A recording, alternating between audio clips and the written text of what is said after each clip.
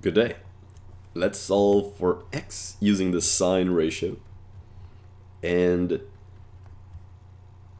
the sine or angle A is 48 degrees. So we're going to do sine of 48 degrees is equal to opposite over hypotenuse.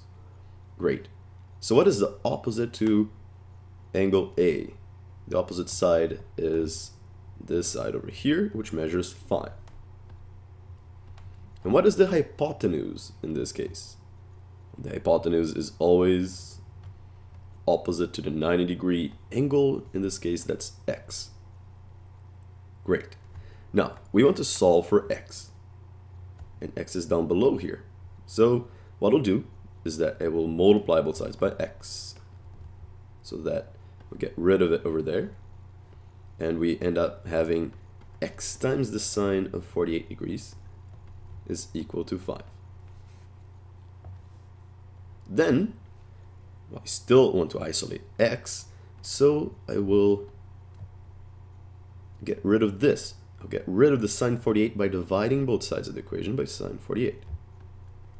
Sine 48 degrees. They cancel out. So x is equal to 5 over sine 48. Then we can calculate that with our calculator. So 5 divided by sine of 48 degrees.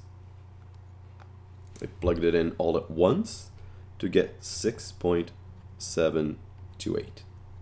And that is the answer. Of course, you could have gone, you could have actually calculated the sine of 48 before.